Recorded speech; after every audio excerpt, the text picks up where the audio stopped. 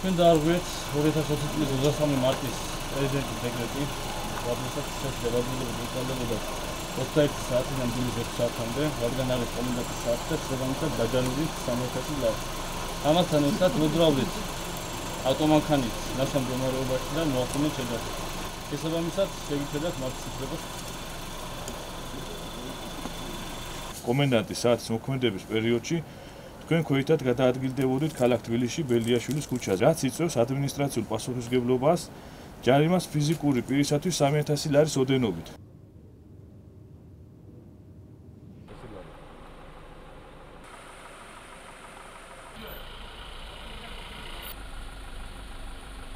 თქვენ დაარღვიეთ საგამგებლო მდგომარეობის პირობები თვითონ ჯარიმდებით 3000 ლარი.